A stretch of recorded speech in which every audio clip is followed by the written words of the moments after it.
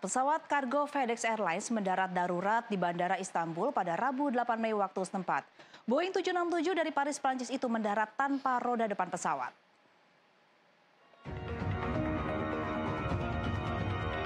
Pesawat kargo FedEx Airlines mendarat di Bandara Istanbul pada hari Rabu 8 Mei waktu setempat tanpa roda depan dan berhasil tetap berada di landasan pacu. Kementerian Transportasi Turki menjelaskan tidak ada korban jiwa dalam kejadian tersebut. Percikan api muncul dan asap mengepul saat badan pesawat bergesekan di sepanjang landasan sebelum disiram dengan busa pemadam kebakaran.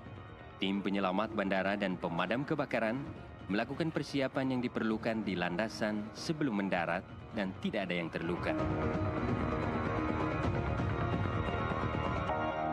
Pesawat Boeing 767 yang terbang dari bandara Charles de Gaulle Paris memberitahu air traffic control di Bandara Istanbul bahwa roda pendaratannya gagal terbuka.